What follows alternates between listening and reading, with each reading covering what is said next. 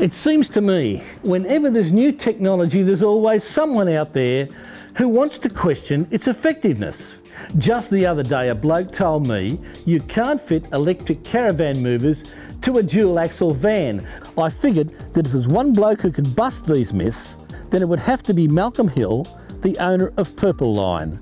Purple Line makes Australia's most advanced caravan mover, the Ego.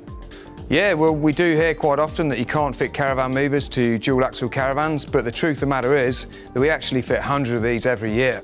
The second one is the opposite of the first one, that you don't need to fit caravan movers to lightweight vans. Well, when was the last time you saw someone successfully pushing even a small caravan up a small slope?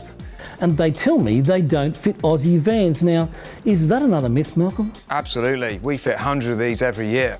And what about European vans? European vans, camper trailers, just about anything really. So it's not a case of one size fits all? No, it's not. We've actually got uh, three main models, all for different applications.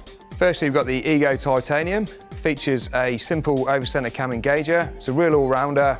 So what about the larger dual-axle vans? Well, for them, we have the Ego Platinum with its uh, wind-on engagement mechanism and larger roller, ideal for caravans with bigger tyres and uh, independent suspensions, rocker roller suspensions, things like that.